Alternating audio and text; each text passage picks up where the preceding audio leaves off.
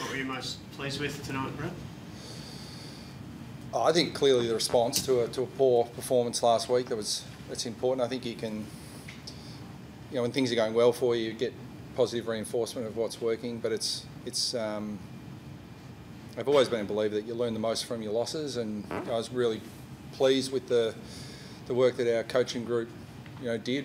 One to rectify um, last week in a few areas, but you know, coming up against the midfield that contains Liberatore, Bontempelli, you know, Treloar, you know, really good players, and um, to respond like we did, particularly in centre bounce, was really important for us. And you know, I thought our rucks were really important in that part of the game as well. So, yeah, I think the the, the overwhelming um, thing I was most pleased with is just you know the response because when things are going well, things are a lot easier. It, I think the real measure is how you respond.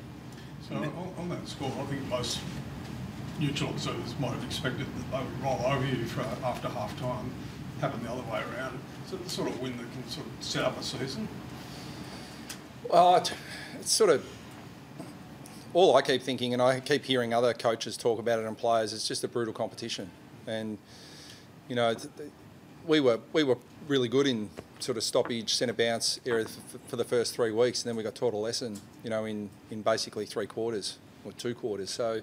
Um, you just can't take anything for granted. I mean, it was a, it was a I thought it was a really solid performance from our guys today, but and that's that's great for round five, but it doesn't mean anything for round six. And you just look around the competition, you know, it's it's just tight.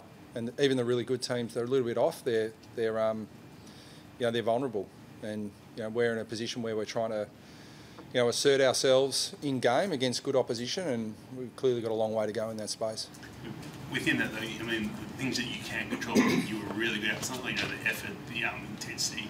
I guess is that the challenge now compared to last week? The challenge now is to sort of maintain that consistency. I mean, almost go back to last because those first four months last year, you were pretty was a pretty consistent.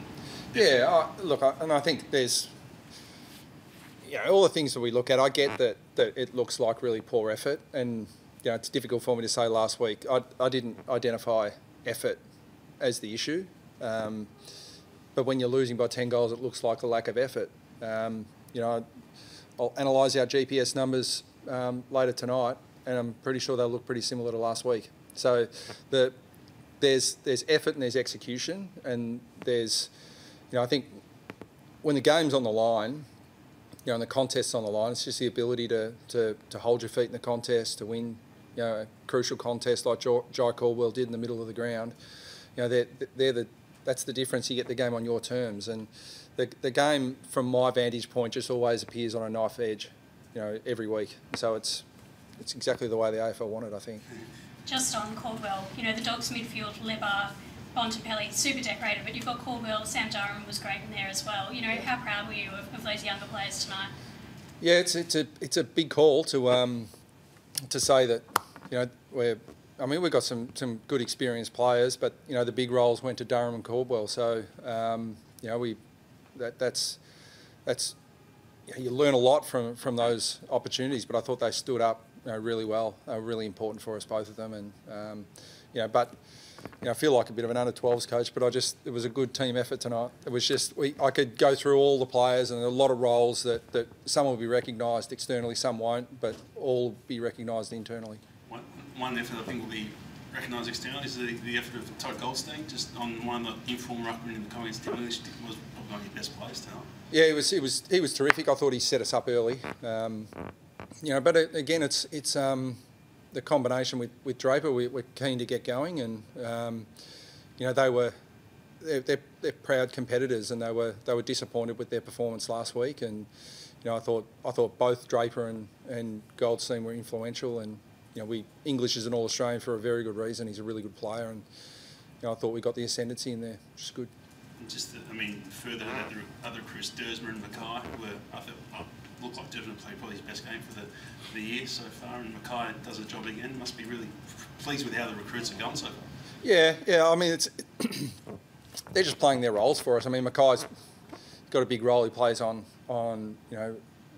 It's the hard thing about being a key back. You, you play on a gun every week. Um, so this, it's just relentless, and he's um, he's been exceptional. But we had we, we clearly identified you know the role that he would play for us, and you know, we're still building that, that back half, but you know, he was excellent again. But you know, I thought the back line as a unit worked really well because you know when you look at Ugle Hagen, Naughton, Darcy, Weightman, you know, Rhylee West is playing a really important role for them at the moment. It was going to be a, a big task for our defence, and they held up. Just goal kicking this year, I think only once so far this year you've been below 50% in a game. Has that been a real focus over the summer? Because it's sort of been one of your big positives this year. Yeah, we spend a, an enormous amount of time on it, both on and off the track, and um, you might ask how you, how do you do that off the track? But you know, it's it's the, the, the mental side of, of goal kicking is I think everyone's known for a long time. Not many not many people want to sort of admit it, but you know these these guys are excellent kicks, and you know if you, you watch them at training, they just go back and like a metronome, just sort of nail them. But when the pressure's on and, it, and it's you know it's a it's a big game and a big moment. You know the, the, the mental side of the game is really important, and we've invested heavily in that space. And you know, um, you know we've got some really good people in that in that area, and um, you know, David Rath's come on board as you know we've, as the technical side of, of that part of our game as well. So you know I couldn't be happier with you know the, the way that our, our coaches take that and and the technical side, the mental side is really important. But you know the coaching group tonight, you know, Daniel Giansiracusa, Brent Stanton, you know we got touched up last week, and like our players, they're proud competitors too, and, and they just put together a really good plan tonight, and our players executed it. Nick Hind had three games in a row as sub. Will he need a full game at some level in the future?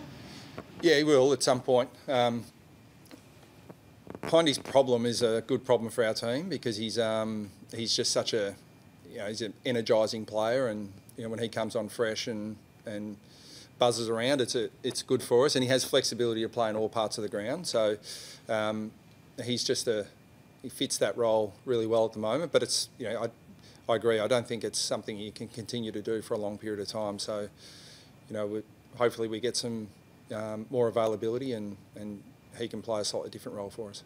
Jye Menzie, the shoulder, was, it, was that the issue? Um, yeah, it's only it was, we, we subbed him out only because um, you know it was we were told he could he could keep playing, but he just he just looked hampered. Um, so you know, the the medical staff aren't concerned about it necessarily, but um, you know we probably just had that that luxury of a like for like player, so we just we just activated that sub out of precaution. But yeah, hopefully he'll be available next week.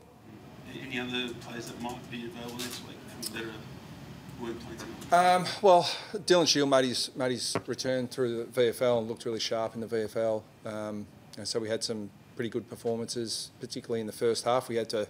It's hard when you play before the AFL. You've got to you know, sort of want your emergencies to play, but um, you need some cover. But yeah, I mean, Sheely's probably the one who you know we'll we'll look to, to ramp him up, whether that's next week or a bit later. But it's just great to see him back playing footy.